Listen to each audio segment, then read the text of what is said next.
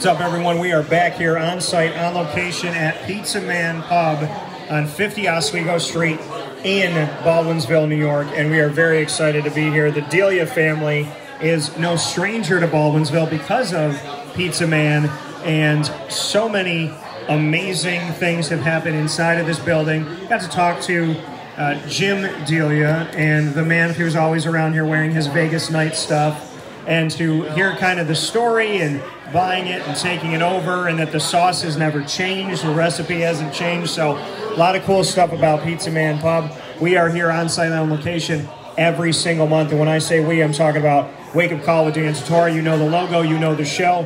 Every month here with a special. This special is Champions Corner, which is a tribute to the 2021 national, not regional, not local, not conference, national champion, Lemoyne College Dolphins men's lacrosse team. And Frankie Delia is here with me for our final piece today. You heard from Dan Sheehan, the head coach. You heard from Nate Arnold, and now it's now it's time to hear from Frankie Delia, which is where it all started when you and I talked at that table right there to get this thing set up. So welcome to the show. Hey Dan, thanks a lot, man. Thanks for having me. I really appreciate it. Absolutely, and you and I have been talking about this for for a bit, for a few weeks, and we've been excited about it to finally get to do something like this. What does it mean to you? Like you said, you've never done something in this situation, like out at a restaurant and whatnot. So, what does it mean to you to be able to have your first time be at a restaurant that is everything about the Delia family? Yeah, um, you know, it, it's exactly that. It's just the fact that I'm able to do it here. It's something, uh, you know, it means a lot to me. And, uh,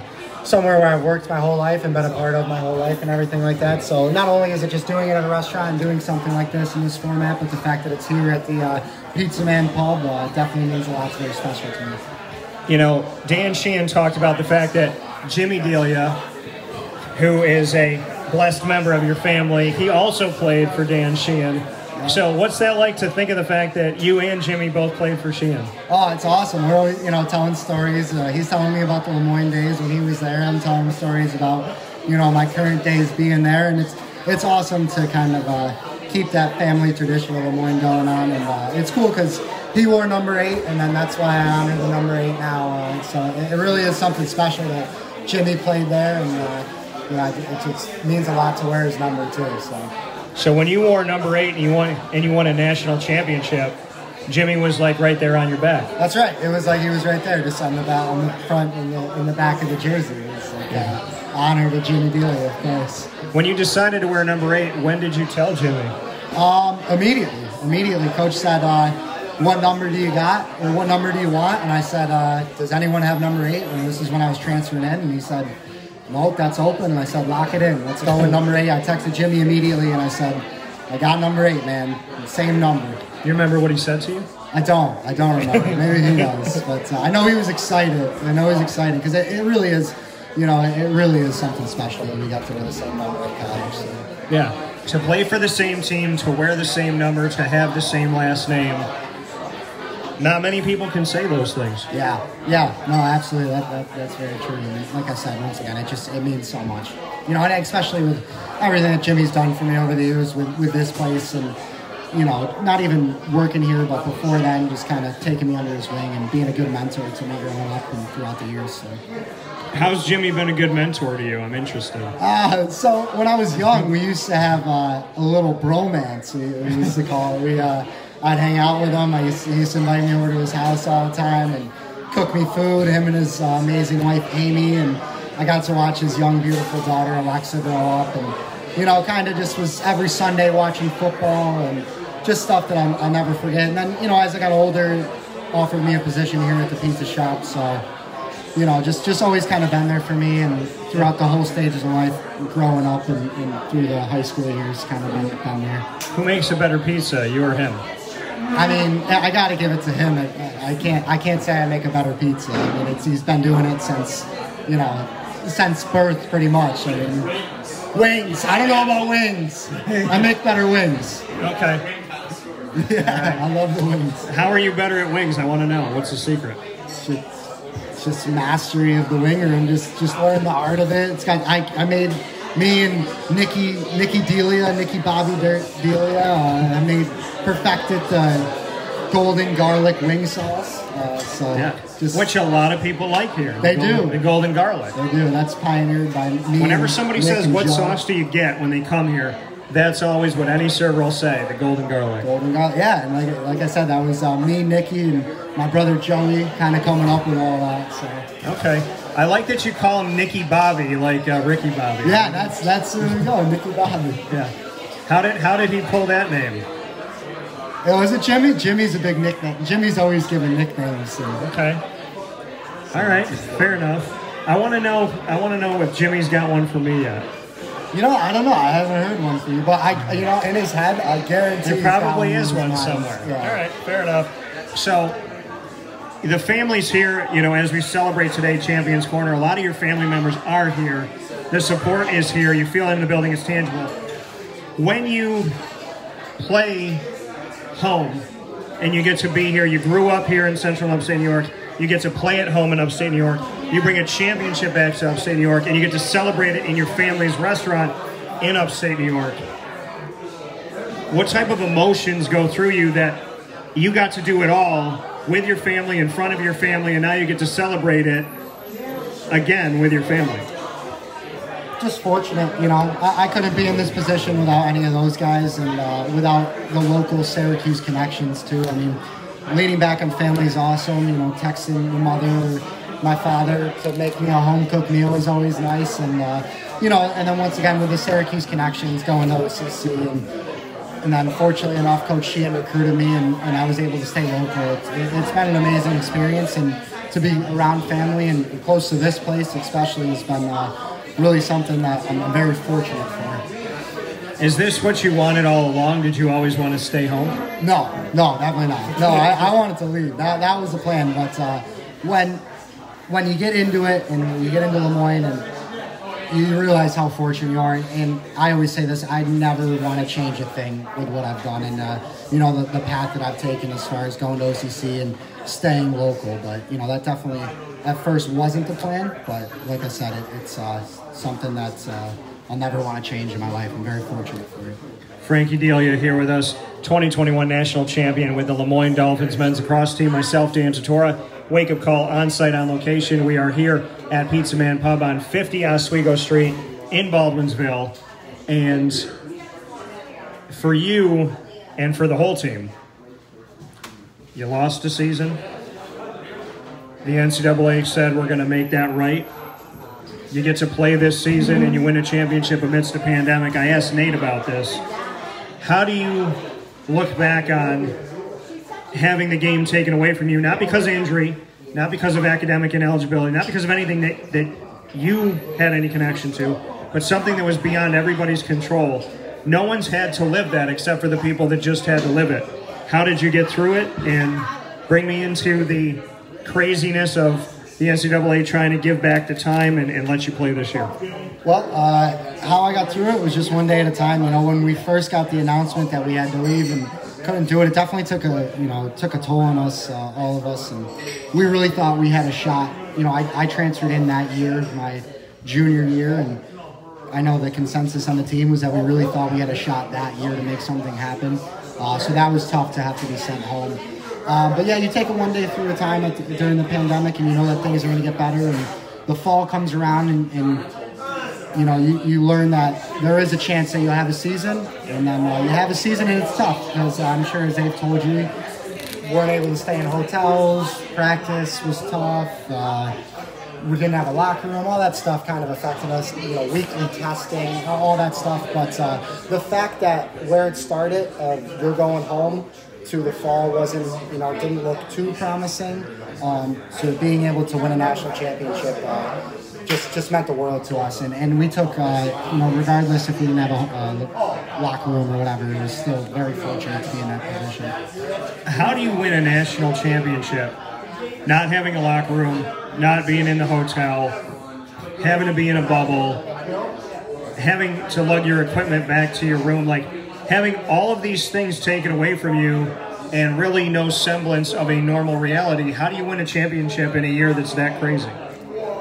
Just grit, just pure grit. Just bring it to practice. Gritty, uh, gritty men on our team. You know, uh, changing outside and, and freezing cold weather just uh, shows how gritty we were and keep working hard and stay motivated and, and uh, achieve the ultimate goal. How do you do it personally? How do you stay motivated yourself? You know, once again, uh, one day at a time. That's how I take things in the season. Is one day at a time, one game at a time. Uh, I tried even throughout the playoff run, conference playoffs, and, and uh, you know the, the NCAA playoffs, just to take it a game at a time. And uh, you know, I guess that, that is really how you stay motivated. You don't try to think too far ahead. You just want you just become gritty and keep working hard. You talk about the one day at a time. Mm-hmm. Everybody wants things to happen so quickly, especially in today's world. Professionally or personally, people want quickness, right? You watch TV shows about was it 90 Day Fiance where they get married in three months and they're like across across the pond from each other, and so you know marriage is quick, dating is quick. People want to go from sitting on a couch to being a billionaire really quick. How do you take things one day at a time in a society that wants everything to happen? They call it the microwave society. Nothing can be fast enough. Well, uh, I actually uh, I learned this quote from uh, John Wooden. Uh, I learned a lot about him because he's, he's actually uh, somebody I look up to as a leader. Uh, you know, at his years at UCLA, and it was kind of focus on, on running the race and not winning it. And not only do I apply that in life, but I apply it in well, yeah, I apply it. Not only do I apply it in lacrosse in school and and you know whatnot, but I apply it in life in general. Just really focus on one day at a time, running the race and not winning it. And if you focus on that, you know everything will come into place. Frankie Delia spreading some knowledge here on Wake Up Call inside a Pizza Man Pub, 50 Oswego Street in Baldwinsville. Champions Corner celebrating the Le Moyne Dolphins 2021 championship. How would you describe this season in a few words? it was difficult. It was difficult. You know, as I said, uh, we, we didn't have a locker room.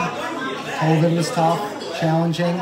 Social aspect completely taken out of everything, especially being an athlete, held to a little bit higher standard. Uh, it was difficult for sure, um, but it was very worthwhile. That's for sure. How did you deal with the bubble that you really saw your teammates, your coaches, and that was it? You couldn't do much of anything, couldn't really have a social life you weren't supposed to step out of your bubble, which they're asking you in college to not mingle with the student body. Not an easy thing to do.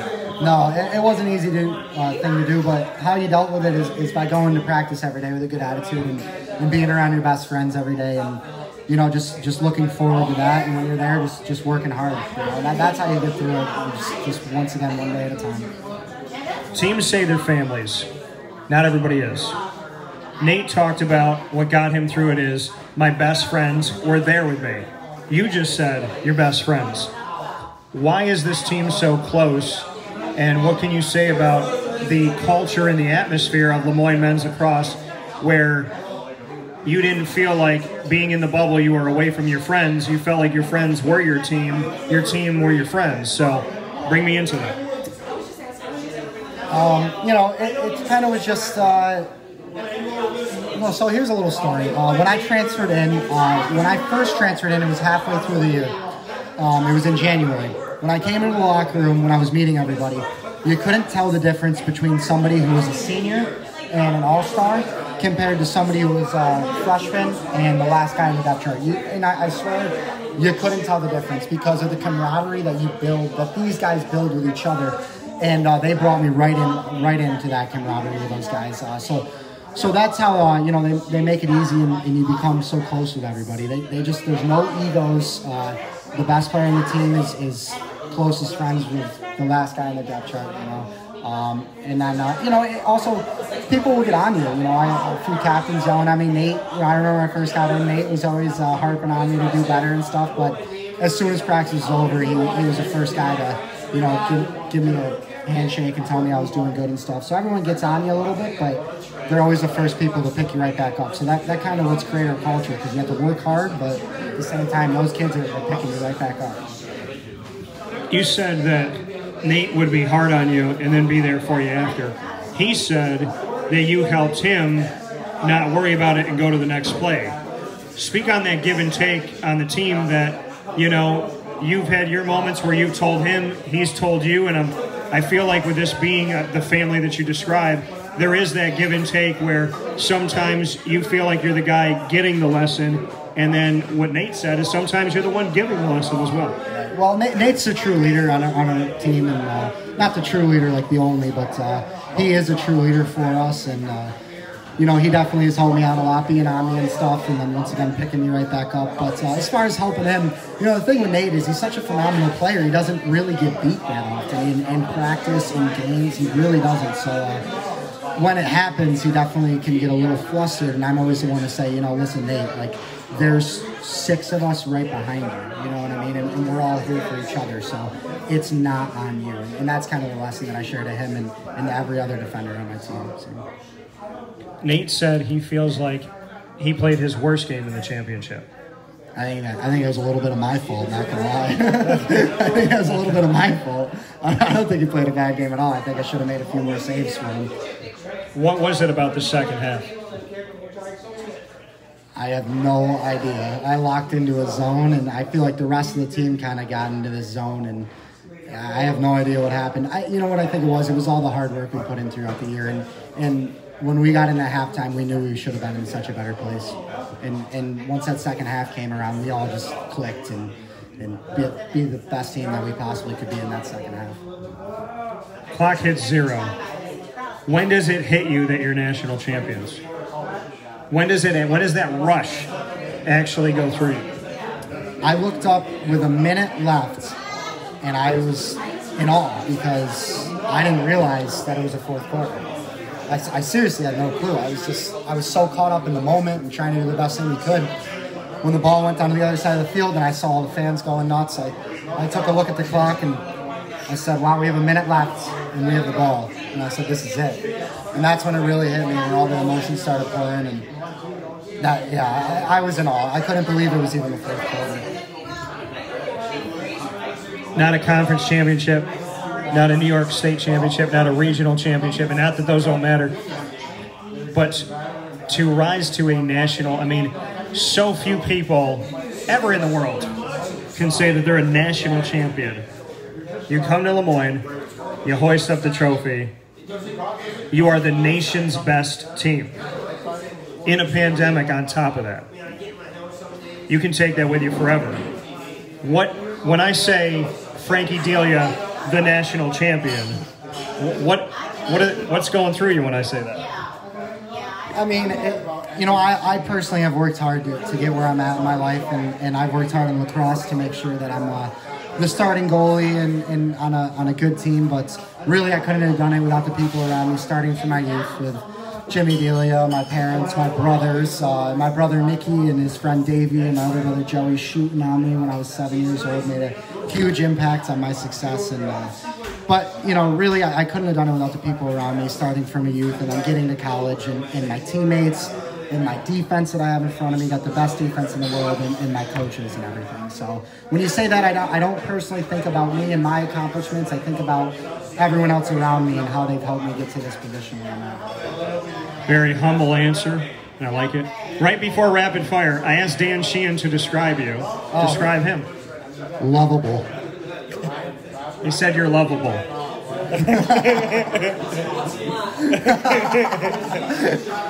uh, no, he he's tough, but that's what you want. That's what you want. I mean, that's why we're in the position that we're in. So. But he, he, on the field, he's tough. Outside the field, he's the first person to strike up a conversation and, and uh, you know just ask you how life's going and everything. So. All right, fair enough. Wake up call with Dan Tortora, Pizza Man Pub. You're watching on Facebook.com backslash Live Now DT, and of course on YouTube.com backslash Wake Up Call DT. I want to close this out with rapid fire as we've done with Dan Sheehan and Nate Arnold. Three questions apiece. And this gentleman, Frankie Delia, national champion of Lemoyne, he gets to ask me first. Go ahead. Um, is cereal a soup? No. Yes, it is. It's not a soup. You it's definitely a soup. You don't put milk in soup. It doesn't matter. You don't put.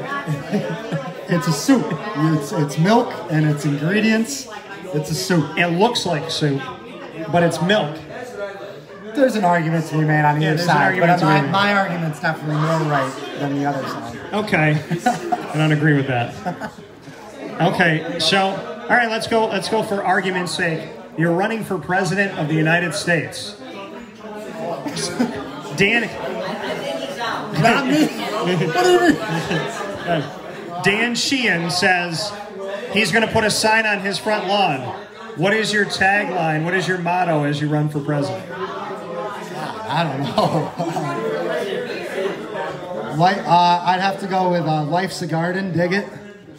Life's a garden, dig it. Okay. That's my motto. And what's the deeper meaning? Uh, it's just Joe Dirt.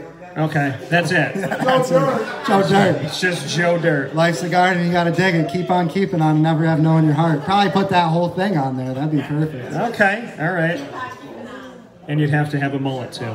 I would. I would rock them all. I think that would give me more votes, honestly, if I, if I were to run for president. Yeah, I think that this.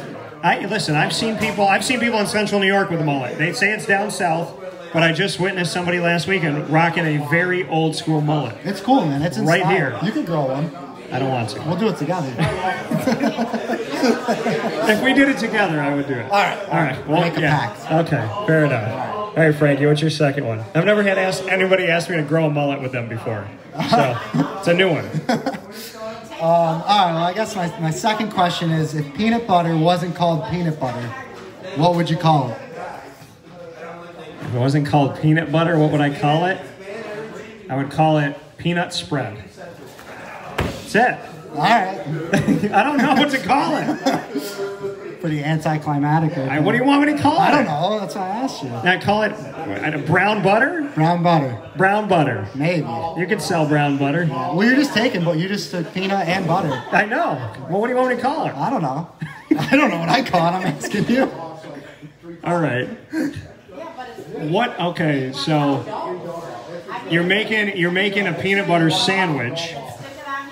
Do you do peanut butter and fluff? If people don't know what a fluffernutter is, you need to like get to know life. Yeah. But do you do peanut butter and fluff, peanut butter and jelly? Why one over the other, and what jelly if you use jelly? Well, if I had to choose one or the other, it's it's peanut butter and jelly. But if I had to not choose, it would be both of them. I'd do like a triple decker type. type Okay. What type of jelly? Uh, probably grape. I'm a big grape jelly fan. All right. I'm strawberry. Oh, yeah, I figured.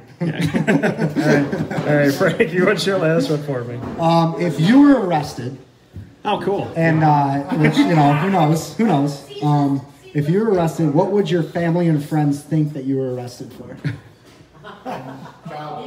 what? Oh, Jim Delia. oh, Jim Delia. Don't put it on. So he has no filter. you know that he has no filter at no all. filter. What would I be? What, what would my loved ones think I'm arrested for? Yeah. You know, I think my mom would honestly say that she'd put nothing past me. It'd be something funny. It would be a prank. Yeah. It would never be something violent. Like It'd be something funny. Yeah, I'd probably, I'd probably indecent exposure somewhere. I'd probably be running, running somewhere on a beach somewhere. yeah, something like that. Yeah, or, or you know, or I just, I don't know. I mean, my comedy, I can, I can go places in my comedy. I probably get myself in trouble, something like that. Maybe, maybe say something at like a presidential party. Oh yeah. You know, Secret Service. yeah. My Secret Service, because I'm running for president now. Yes, your Secret Service. Don't arrest me. No, I'll get you off. I'll pardon you. Yeah, pardon me. Pardon me when you pardon the turkey on Thanksgiving. you know what? I like your question, so I'm gonna, I'm gonna, I'm gonna kind of use it, but I'm not gonna use it exactly. Okay. You're in jail. You come up on parole, and the judge says, "Tell me three things to let you out of prison." Well, listen, you know, I'm just the best there ever was. Uh, I wake up in the morning, I pee excellence. That's what I would say.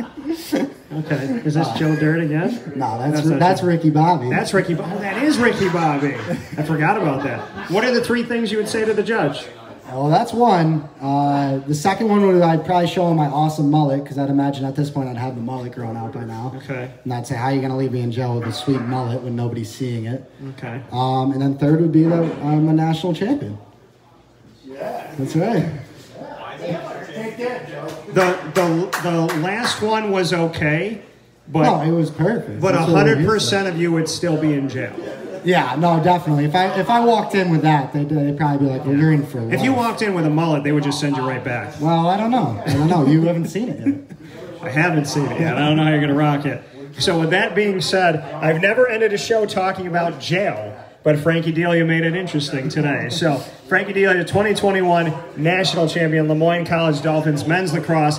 The Champions Corner is here at Pizza Man Pub, 50 Oswego Street in Baldwinsville, New York. For Wake Up Call with Dan Tortora, we will see you here every single month. And you know here on Facebook.com backslash Live Now DT, YouTube, MixLR, and on WakeUpCallDT.com. You can watch us Monday through Friday from 9 a.m. to 11 a.m. Eastern Time.